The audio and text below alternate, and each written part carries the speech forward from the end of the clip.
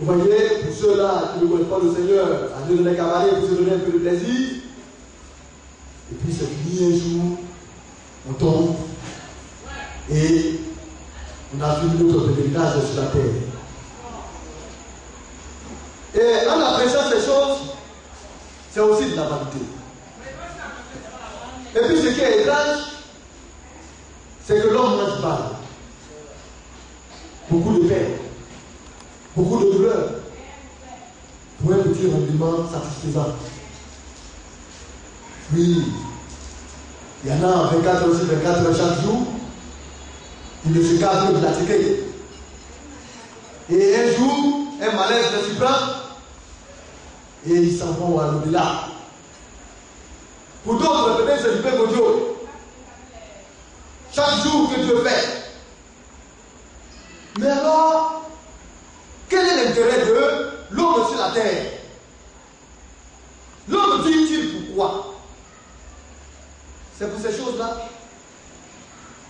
Alors quand on regarde, l'homme, vous voyez, semble ne plus avoir de valeur. Parce qu'il y a rien là-dedans. Se remplit. Aller aux toilettes, se dégager. Chercher à se remplir encore plus dans les mains. Parler, parler. Se promener. Vous voyez, avoir le langage qui ne convient pas à Dieu. Et puis un jour s'en aller. Mais quand on reçoit la grâce de Dieu et qu'on l'adore, alors une chose est donnée à notre vie. Alors quand on regarde, on se pose la question, mais pourquoi je suis sur la terre Alors nous prenons des crier, nous sommes sur la terre par Dieu. Amen. Amen. C'est cela qui donne un véritable sens à notre vie. Sinon, bien aimé, la vie ne mérite même pas d'être. Alléluia. Amen. Et l'Ecclésiaste nous en a parlé. La peine que l'homme se donne sur la terre, aussi peu. Alléluia. Ah, c'est pourquoi nous avons intérêt à faire de sorte que le Seigneur soit pleinement établi dans nos vies. Ah. Nous allons continuer notre sujet dans le livre de Jean, où nous étions, Jean 14.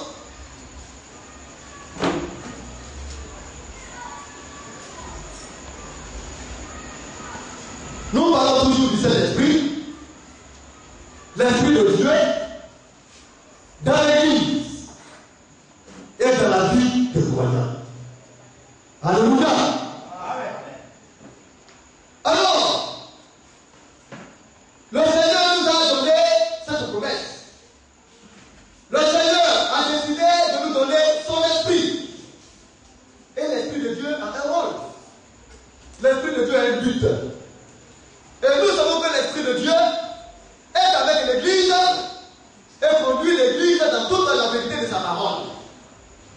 Et nous avons aussi dit que l'esprit de Dieu, aussi longtemps qu'il sera avec l'Église et dans l'Église, l'Antichrist l'impie ne sera pas encore manifesté sur la terre. Mais pour autant, l'esprit Antichrist agit déjà. Alléluia. Le fait que l'esprit Antichrist agisse, cela ne veut pas que lui-même marché en personne, il est encore sur la terre. Mais ce qui l'empêche d'être encore sur la terre, c'est le Saint-Esprit, l'Esprit de Dieu. Dans le livre de Jean, le chapitre 14, où nous étions arrivés, le Seigneur nous dit ceci, avant le verset 24, que nous avons lu la dernière fois. Celui qui ne m'aime pas ne garde pas mes paroles.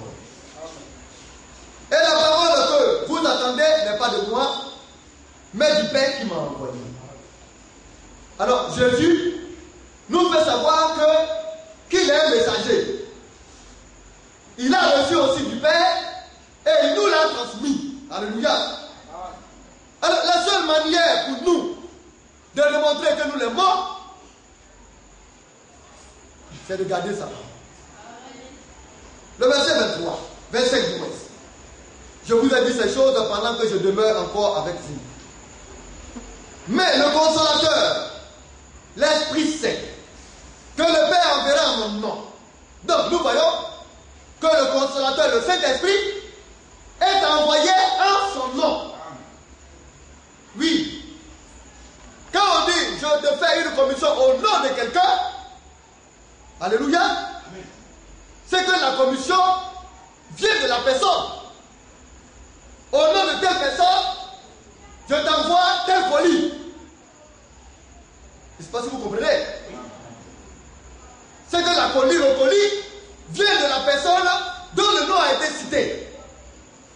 Donc, le Saint-Esprit vient au nom de notre Seigneur Jésus-Christ. Amen. Et il dit, mais le consolateur, l'Esprit Saint, que le Père enverra en mon nom, vous enseignera toutes choses. Donc, quand on dit toutes choses, il est bien entendu que ce sont les choses qui concernent l'Église. Bien-aimé, Dieu s'occupera d'Israël avec le temps. Mais pour le moment, Dieu s'occupe de son Église. Le Saint-Esprit a un rôle. C'est d'enseigner toutes choses qui concernent l'Église à l'Église de Dieu. Donc, nous, nous ne serons pas orphelins. Tout ce que l'Église est appelée, est censée savoir, le Saint-Esprit sera chargé d'enseigner cela à l'Église. Mais le Saint-Esprit fait quoi? Est-ce que le Saint-Esprit viendra en chair et en os pour dire aux frères, voilà ce que vous devez apprendre? Non. Mais c'est un esprit de vérité qui animera certainement des hommes afin de leur transmettre le conseil de Dieu. Amen. Et le Saint-Esprit a des règles. Le Saint-Esprit ne se lève pas pour faire les choses au hasard. Le Saint-Esprit ne vient pas dans le but de contredire la parole. Mais le Saint-Esprit agit con- conformément à l'indication donnée. Parce qu'il vient au nom de quelqu'un. Et il fera ce qu'aurait indiqué cette personne dont la commission a été. Amen. Et cette personne n'est d'autre personne que Jésus-Christ, notre Seigneur. Amen. Et il continue. Et vous rappellerez toutes choses. Alors, l'enseignement, le rappel. On rappelle une chose qui a été déjà donnée. Alléluia. Donc il a un rôle. Enseigner et rappeler. Donc le rôle du Saint-Esprit, c'est d'enseigner le peuple de Dieu et de rappeler au peuple de Dieu ce qui a été. Mais qu'est-ce qui a été? Il y a eu des hommes choisis par Dieu, qui ont exercé avant nous. Il y a eu des croyants qui ont marché avec Dieu, qui ont vécu avant nous. Le Saint-Esprit a transmis à ces personnes-là des modes de vie, des conseils. Alléluia. Le Saint-Esprit aujourd'hui doit aussi nous rappeler ce qu'ont fait nos dévanciers. C'est son rôle. Mais si tu n'as pas de Saint-Esprit, tu ne peux voir et comprendre. C'est encore aujourd'hui les hommes sont étonnés que les hommes lisent la Bible et ne comprennent pas le contenu de la Bible. Les hommes lisent et voient le travers. Parce que le Saint-Esprit les a pas envoyés pour ouvrir les yeux afin qu'ils comprennent les enseignements et qu'ils se rappellent des choses déjà annoncées autrefois. Amen. Amen. Amen. Amen. Alors les hommes cherchent le Saint-Esprit pourquoi? Pour faire des miracles. pour faire des prodiges, pour qu'on parle d'eux, pour qu'ils se fassent voir. Le Saint-Esprit n'est pas. Amen. Le Saint-Esprit nous rend conforme à toute la vérité biblique. Quand tu as l'Esprit de Dieu, c'est en ce moment-là que tu vois comme Dieu voudrait que tu voies. C'est en ce moment-là que tu comprendras comme Dieu voudrait que tu comprennes. Alors c'est le rôle du Saint-Esprit. Et il vous rappellera tout ce que je vous ai dit. Alors le Seigneur continua, il dit, je vous laisse la paix. Je vous donne ma paix. Je ne la donne pas comme le monde le, la- le- le donne. Alléluia. Amen. Que votre cœur ne se trouble point et ne s'alame point. Et continuons. Nous avons parlé toujours de cet esprit. L'esprit de Dieu. Le Saint-Esprit.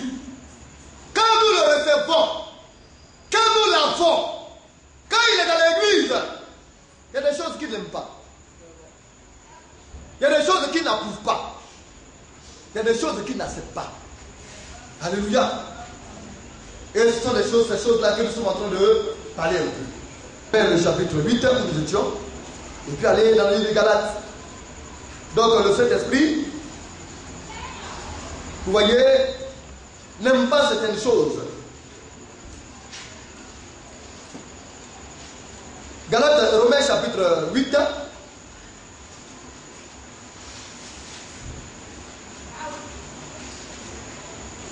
Nous allons lire à partir du verset 5. Alléluia. Oui, 8, verset 5. C'est en effet qui vit selon la chair s'affectionne aux choses de la chair, tandis que ceux qui vivent selon l'esprit s'affectionnent aux choses de l'esprit. Donc, la vie que nous menons est régie par deux esprits. L'esprit du monde, conduit par la convoitise et la chair. Alléluia. Amen. Et la vie de Dieu, dirigée par l'esprit de Dieu. Amen. Ce sont ces deux esprits-là qui existent dans le monde. Et l'esprit qui conduit le monde est appelé l'esprit de la chair. Alléluia. Ceux en effet qui vivent selon la chair, en d'autres termes qui sont conduits par le monde, s'affectionnent des choses de la chair. Tandis que ceux qui vivent selon l'esprit, l'esprit de Dieu, s'affectionne des choses de l'esprit. Donc il y a les choses de l'esprit et il y a les choses de la chair. Alléluia. Les choses de l'esprit, c'est quoi Ce sont les choses que Dieu aime. Amen. Ce sont les choses de Dieu. Les choses que Dieu affectionne. Maintenant, les choses de la chair, c'est quoi Ce sont les choses que le diable aime. Les choses que le diable affectionne. Le verset 6, bien aimé. L'affection de la chair, c'est la mort, Vous voyez tandis que l'affection de l'esprit, c'est la vie et la paix. Donc, quand tu as l'amour de la chair, c'est la mort qui te conduit. Pour finir, tu aboutis à la mort. Alléluia. C'est l'affection de la chair. Le Chanel. Or, quand tu as l'amour des choses de Dieu, en d'autres termes, tu es conduit par l'Esprit de Dieu. Alors on parle de l'affection de l'Esprit. Et l'affection de l'Esprit conduit à où? À la vie. Amen. Et te donne la paix. Mais la paix avec qui? Bien sûr avec Dieu. Quand tu es en paix avec Dieu, c'est-à-dire que tu es en ordre avec lui. Quand tu es en paix, Alléluia, Amen. c'est que tu es tranquille. Oh, nous avons parlé de paix. Le Seigneur dit, je vous donne ma paix. Oh, la paix qu'on reçoit est l'émanation du Saint-Esprit. Si tu n'as pas le Saint-Esprit, tu ne peux pas avoir la paix de Dieu. Et quand nous parlons de paix, nous parlons de concorde. Alléluia. Quand on parle de concorde, on parle d'entente. On est en concorde avec quelqu'un quand on s'entend bien. Absence de conflit. Je ne suis en conflit avec personne. Je ne suis pas aussi en conflit avec Dieu. On est en conflit avec Dieu lorsqu'on n'est pas en accord avec sa volonté. Mais lorsqu'on est dans la volonté de Dieu, le conflit entre nous et Dieu disparaît. Et c'est la paix qui s'installe. Alléluia. Amen. La tranquillité. Quand tu vas toucher à quelque chose d'interdit, ton cœur commence à trembler au-delà de ton cœur de ta partie. Tu as troublé parce que tu n'es plus tranquille. Parce que tu as touché quelque chose d'interdit. Tu n'as plus la quiétude. Alléluia. Tu as troublé. N'est-ce pas? C'est pourquoi, comme on le disait, quand le Seigneur a parlé de paix, le Seigneur de la suite a dit que votre cœur ne se trouble point. Quand tu es en harmonie avec la parole de Dieu, ton cœur ne point troubler. Frère, si on peut lire cela. Jean 14.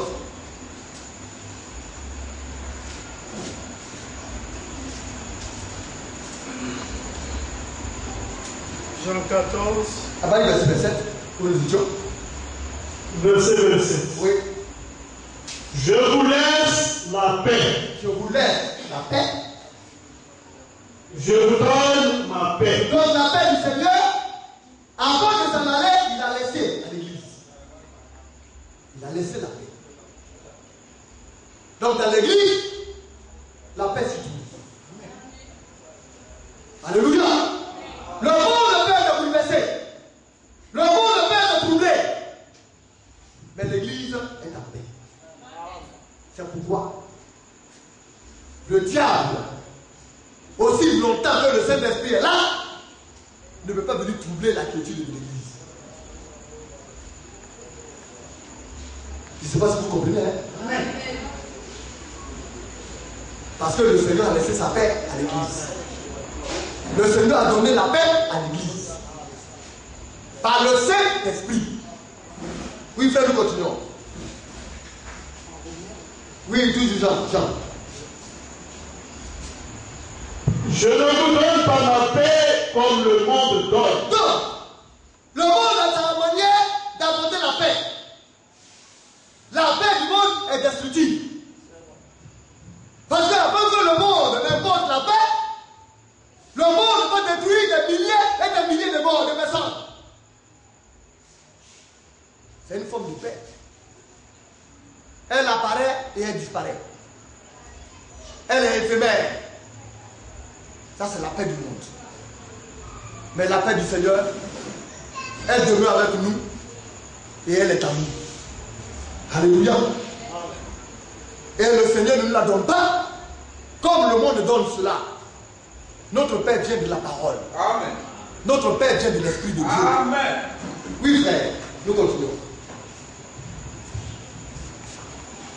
Que votre cœur ne se trouble point. Donc, ayant la paix de Dieu, notre cœur ne peut point se troubler. Que votre cœur ne se trouble point. Alléluia. Absence de trouble. La sérénité. Alléluia. Absence d'agitation.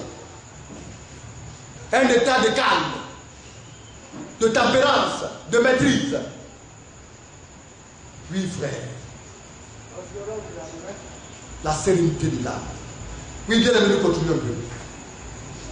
Que votre cœur ne se trouble point Oui. et ne s'alarme point. Et ne s'alarme point. Pourquoi t'alarmer Oui. Tu sais où tu vas. Tu sais où tu as mis les pieds. Tu sais où tu es. Bientôt, tu vas t'en aller, t'en aller dans le lieu promis. Tu as l'assurance de ce que tu fais. Tu as confiance en ton Dieu. Mais tu vas t'alarmer pourquoi Quand quelqu'un s'alarme, c'est qui c'est qui n'a plus d'espoir Or, nous sommes pleins d'espoir et d'espérance. Alléluia. Parce que nous savons où nous avons mis les pieds et à qui nous avons cru. Oui, frère, continue. Vous avez entendu que je vous ai dit, Oui. je m'en vais et je reviens vers vous. Il dit, je m'en vais. Oui, physiquement, il s'en est allé. Il est monté au ciel. Et quand il dit que le Père va envoyer le Saint-Esprit, c'est lui-même dans une autre type de présence. Il dit, je m'en vais et je reviens vers vous. Mais le Seigneur, Jésus, qui s'en est allé, qui est monté au ciel, aux yeux de tout le monde, est revenu, alléluia, par la forme de l'Esprit et demeure dans l'Église. C'est pourquoi que le Christ soit allé physiquement, les chrétiens savent que le Christ demeure avec eux spirituellement. Oui, frère. Si vous m'aimiez, vous vous réjouirez de ce que je vous aime, de ce que je vais au Père. Si vous m'aimez, si vous avez l'amour pour moi, si vous êtes prêt à m'obéir, à marcher dans mes commandements, à écouter ce que je vous dis, vous allez vous réjouir de ce que je vais au Père. Je vais prendre ma forme initiale, ma place. Je vais au Père. Je vais dans le sein du Père. Alléluia. Je vais prendre ma place dans omnipotence. Bien aimé. Alors les chrétiens doivent se réjouir. Parce que le Seigneur, Alléluia, a pris le dessus au-delà, le dessus, le dessus de tout. Le commandement de tout ce qui existe. Oui, frère. Car le Père est plus grand que moi. Oui. Et maintenant, je vous ai dit ces choses avant qu'elles arrivent. Donc le Père, oui, est plus grand. Parce que c'est le Père qui l'a envoyé. Alléluia. Mais quand il retourne au Père, il reprend sa forme. Parce que la Bible dit, étant sorti du Père, de Dieu, il n'a pas regardé son égalité avec Dieu comme une proie arrachée. Il est Dieu. Il est égal à Dieu. Mais il est venu comme un messager. Manifesté sous forme de parole. Pour nous racheter. Et nous ayant maintenant racheté, il retourne au Père et reprendre réellement sa forme d'esprit. Alléluia.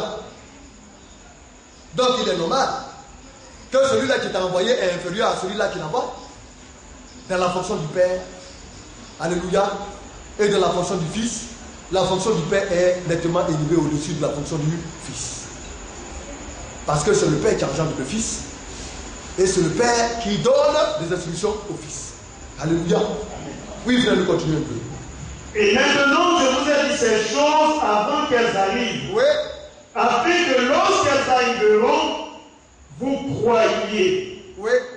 Je ne parlerai plus guère avec vous. Alors, sur terre, il parlait avec eux. De Dieu à toi. Ils échangeaient ensemble. Alors il dit que cela n'existera plus. Désormais maintenant, c'est du Père qui leur parlera directement. Oui, frère. Car le prince du monde vient. Oui. Il n'a rien en moi. Alors le prince du monde est venu. Il n'a rien en lui. Il n'a rien trouvé en lui. Le monde n'a rien avec le Seigneur. Les désirs du monde, les principes du monde ne se trouveront jamais dans le Seigneur et dans son Église. Alléluia. Oui, frère. Mais afin que le monde sache que j'aime le Père Oui. et que j'agis selon l'ordre que le Père m'a donné, Oui. l'aimez-vous Oui. pardon d'ici. Il aime le Père. Et tout ce qu'il a fait, c'est selon l'ordre du Père. Alléluia. Alors, tout ce qui a été annoncé dans l'ancienne alliance a été exécuté dans la nouvelle alliance. Alléluia. Accomplissant l'ordre du Père. Nous le tenons dans le livre de Romains. Donc, vous voyez, quand nous avons la paix, alors nos cœurs ne point troublés. Le verset 8. Verset 8. Romains 12. Romains, Romains 8, hein. Le verset 7. Car L'affection de la chair est inimitié contre Dieu parce qu'elle ne se soumet pas à la loi de Dieu. L'affection de la chair est inimitié. C'est la mésentente. C'est la contradiction. Alléluia. L'affection de la chair, l'amour de la chair ne s'attend pas avec Dieu. Amen.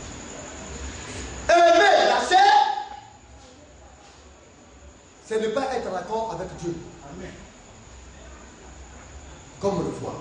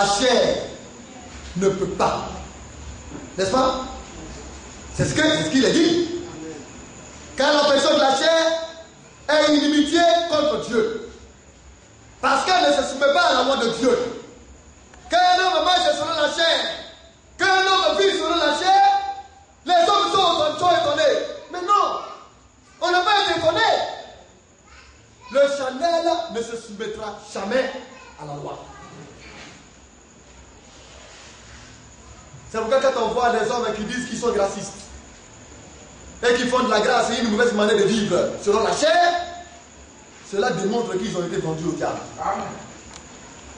Parce que la chair ne peut jamais se soumettre, à la loi de Dieu. C'est pas possible.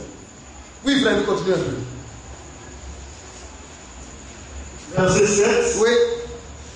Parce qu'elle ne se soumet pas à la loi de Dieu oui. et qu'elle ne le peut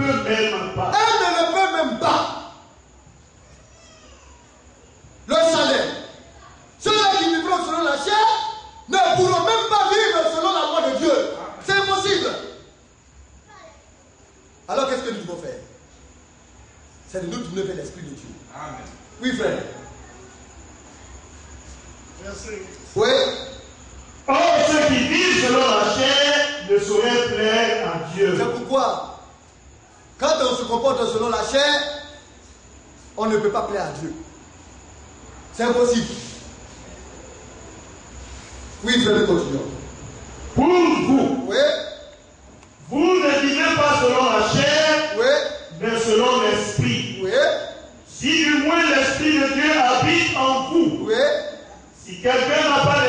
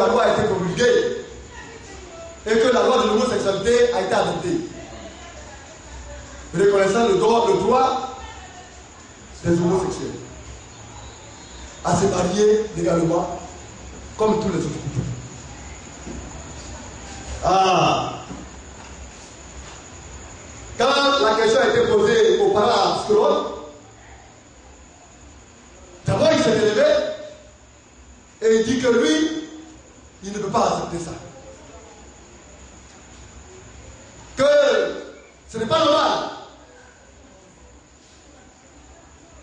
Pourquoi? Parce que c'est une, comment une vie contre nature. On a interrogé le musulman, il dit en Afrique, on ne peut pas accepter ça. Et on a interrogé la. Alors elle a regardé, elle dit, vous ne pouvez pas accepter. Mais alors que ce doit être accepté. Parce que c'est le droit à chacun de vivre sa sexualité comme il veut. Et des débats ont commencé à se donner. Alléluia. Déjà, le débat commence maintenant à prendre l'Afrique.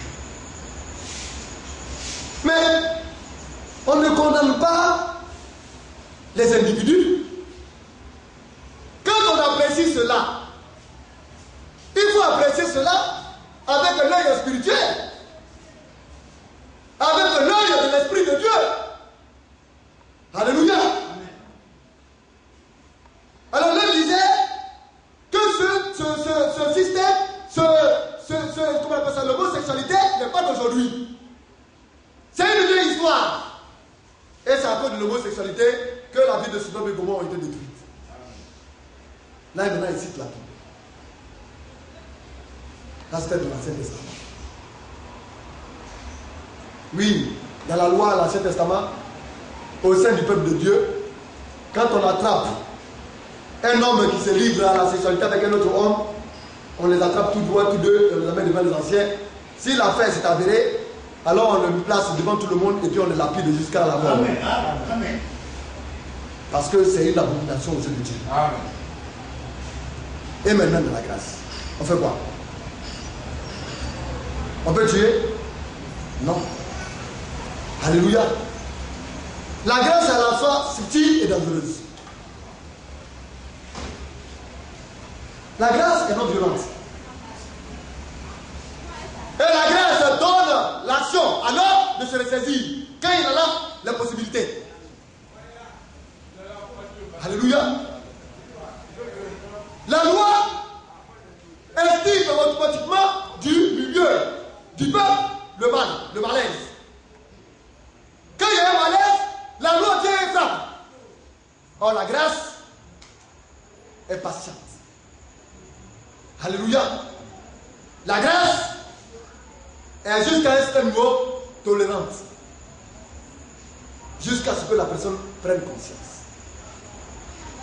Alors, s'il arrivait qu'un chrétien se trouvait là, au devant, comme on le dit des médias, et qu'il commence à parler, comment va-t-il apprécier la situation?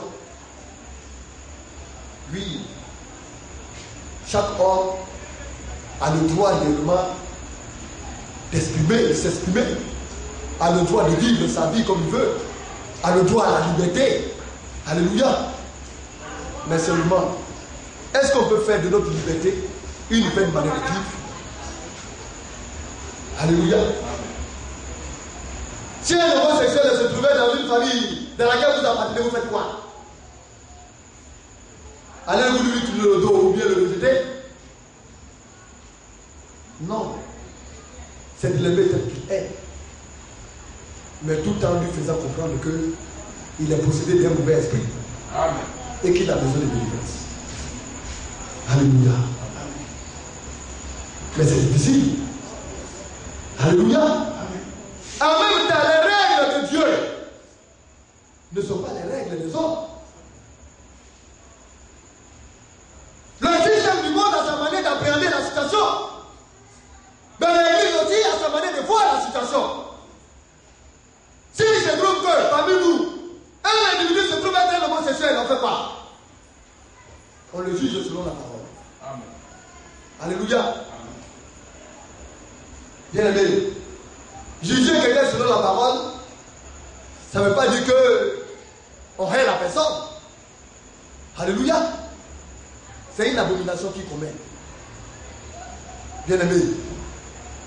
C'est pourquoi dans la Bible, il y a ce qu'on appelle la livraison à Satan.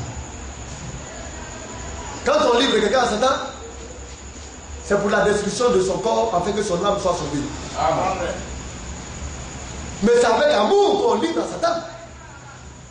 Parce qu'en le faisant, la main de Dieu s'appréhendit sur la personne et amène la personne à regretter son âme afin de se repentir.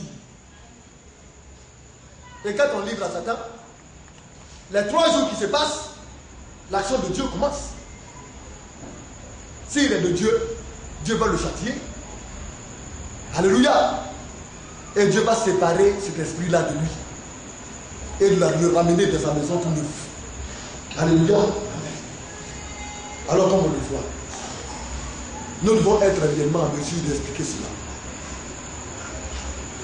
Si un homosexuel se plaît à son homosexualité et que vous le rencontrez dans le monde, bien aimé, ne l'agressez pas. Ne le ridoyez pas. Vous voyez, ne le méprisez pas. Mais vous pouvez vous approcher gentiment de lui. Alléluia. Échanger tout doucement avec lui. Respecter sa position. Respecter son choix, sa décision. Mais en lui disant tout doucement que l'esprit dans lequel il est n'est pas un bon esprit. Parce que s'il persiste là-dedans, demain il ne sera pas agréé par Dieu. Parce que jamais Dieu n'agréera un tel esprit. Amen. Mais elle a accepté sa liberté. C'est tout. Ils ont voté la loi. Si les familles se mariaient avec un père et son ami, homosexuel garçon, et que réellement il vient, ah. Après réflexion, c'est le choix auquel la vous avez fait. C'est à cette décision-là auquel la vous a donné. Oh, c'est bien. C'est votre choix. Mais, Alléluia. Ça veut dire qu'on l'accepte tel qu'il est. Mais en lui faisant comprendre que l'esprit dans lequel il est n'a pas d'avenir. En lui disant que la grâce de Dieu qui l'a amené à se détourner de la sorte, il a en lui la possibilité de revenir à cette grâce de Dieu, de se repentir et de repartir en nouveauté de vie. Si il trouve qu'il n'a plus de plaisir au niveau réellement d'une femme, c'est qu'il a un problème. Dieu peut rétablir cela.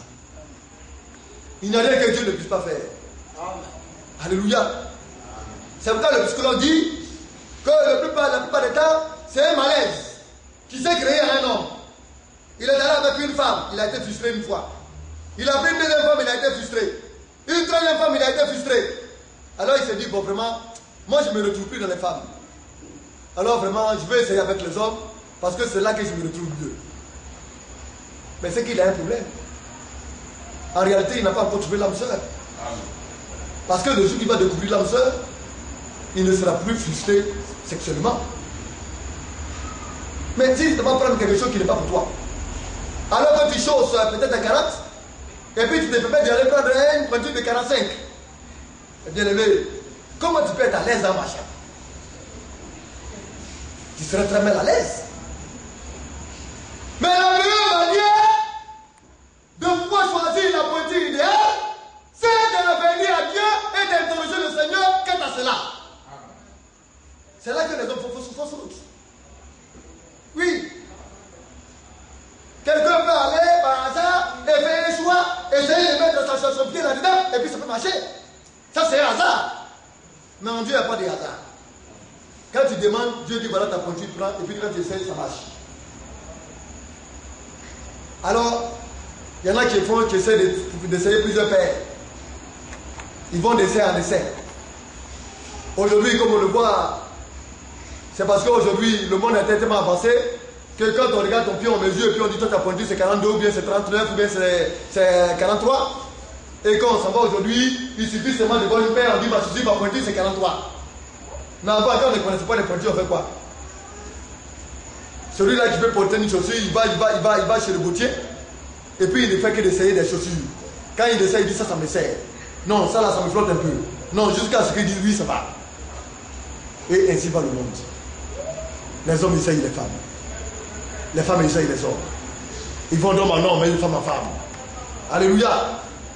Et pour finir, ils disent donc, vraiment j'ai trop essayé, vraiment moi-même, Dieu ne m'a pas destiné vraiment à rester avec une femme. Je crois que je vais essayer maintenant les hommes. Alléluia. C'est un malaise comportemental, tout ça comportemental. Il a un problème. Et il a besoin également de guérison spirituelle. Amen. Alléluia. Amen. Maintenant, si vous ne prenez garde, demain, peut-être qu'il y a certains qui vont se retrouver en Europe. Si tu veux parler pour parler, on va t'attraper pour te jeter en prison. Parce que là-bas, la loi de la liberté est très poussée. Si tu te mets à l'écran et que tu commences à dire un homosexuel, ça on ne peut pas accepter cela. On va dire, ah, ça, c'est un extrémiste. Oui, il faut avoir le langage qui convient avec la sagesse. Homosexuel, tu l'es, je respecte ton choix. Mais seulement tout doucement, gentiment, alléluia, affectueusement, je te fais savoir que l'esprit reste en. Amen. La grâce de Dieu est encore là. Si tu veux faire l'expérience avec moi, je te donne un temps. Quand je dis l'expérience avec moi, ça ne veut pas dire qu'il va venir m'essayer. hein. Je veux dire par là que la contradiction que je porte par rapport à l'esprit qui l'anime, s'il ne croit pas, qu'il essaie de me suivre en Christ. Amen. Je vais lui donner un temps et je vais lui montrer qu'en Christ, il y a la réalité. Amen. Et qu'il y a une possibilité pour lui d'en sortir. Et que sa frustration va disparaître à jamais. Alléluia. Parce qu'en Christ, nous avons la solution de tous les problèmes. Oh, bien aimé. Alléluia. Alors, qu'est-ce qui fait cela C'est parce que les hommes n'ont pas le Saint-Esprit. C'est parce qu'ils sont dans le monde. Alléluia. Et Dieu appelle cela un désordre. Oui. C'est un désordre comportemental. Dieu Et maintenant, qu'est-ce qui va se passer? Ils vont faire maintenant les bébés aux buvettes. On prend son sperme maintenant, on se met dans la machine, et puis maintenant on prend l'être d'une femme, et puis maintenant on fait l'ovulation, on essaie réellement d'assimiler cela, et puis on met dans une forme de poupée, et puis il y a un enfant, un homme qui va naître. Bien aimé. Cet homme-là, il ne va jamais aimer le Seigneur. Et il n'est pas naturel. C'est un homme artificiel. Mais il sera très intelligent, très bien. Comme il est le produit de la, scient- de, de- de- de la science, il sera un grand scientifique. Parce que c'est de celui-là dont tu es issu là. C'est de celui-là dont l'esprit t'a mis. Amen. Alléluia. Et c'est ainsi que les hommes vivent. Dieu aime la nature. Dieu aime le naturel. Dieu voudrait que nous soyons le produit naturel. Alléluia. De la parole de Dieu et de l'Esprit de Dieu. Quand nous sommes nés de la parole et de l'Esprit de Dieu, c'est à ce moment-là que nous disons que nous sommes baptisés du Saint-Esprit. Et là, nous allons aimer les choses de Dieu. Nous allons nous affectionner des choses de Dieu. Alléluia. Mais quand ce n'est pas le cas, on devient quoi? Un hybride. On devient quoi? Un bâtard. Bien aimé, la chaleur qui va te former là, ce n'est pas la chaleur du ventre d'une femme. C'est une chaleur fabriquée par la magie. La nourriture qu'on va te donner là, ce n'est pas une nourriture réellement qui va venir d'une maman. C'est les tuyaux qui vont te nourrir.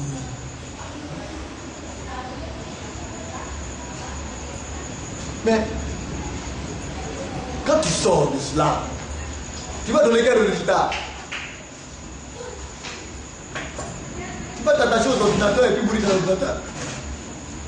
C'est le produit de la science. Tu vas aimer la science. Alléluia. Amen.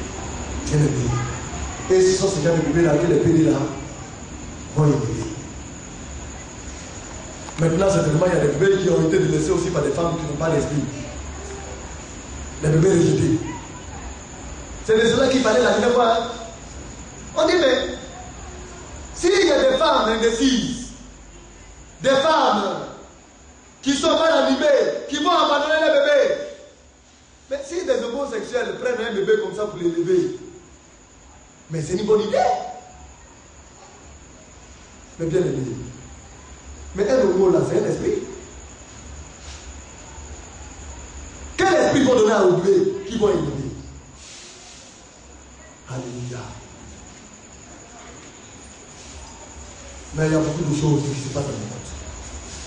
Et quand la femme a parlé, quand elle parle comme ça, souvent, les chrétiens sont là, les soi-disant chrétiens sont là, bouche bée. Il y a, comment on appelle ça, un, un couturier très important. Je ne sais pas si c'est Yves Saint Laurent ou qui là, qui est décédé là. Il est aussi un homosexuel. Et quand il est décédé, d'abord de son vivant, tout le monde l'a rejeté. Et après sa mort, comme il était très important, il a reçu une messe de C'est l'église catholique qu'ils ont fait une messe pour son sec. Le monde était là. Et ce jour-là même, c'est la psychologue là qui parlait de ça. hein. Ce jour, son soi-disant copain ou bien son mari ou bien sa femme, il ne sait pas qui c'est. Jésus qui est un homme, a pris la parole et il a commencé à décrire les mérites de cet homme-là. Alors la femme là disait, mais le monde a rejeté un homme parce qu'il est homosexuel. Et comme il est important quand il est mort, parce que des hommes politiques sont venus de partout, c'est à l'église qu'on a célébré sa messe funéraire. Alors ça, on explique ça comment? Mais il y a église et puis il y a église. Amen. Et ça, les hommes ne savent pas.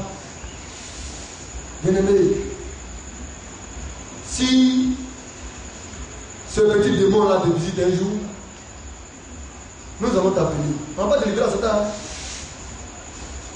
Nous allons dire pardon. Ça, il faut faire les choses simplement et propre. Ici, là. On ne connaît pas ça.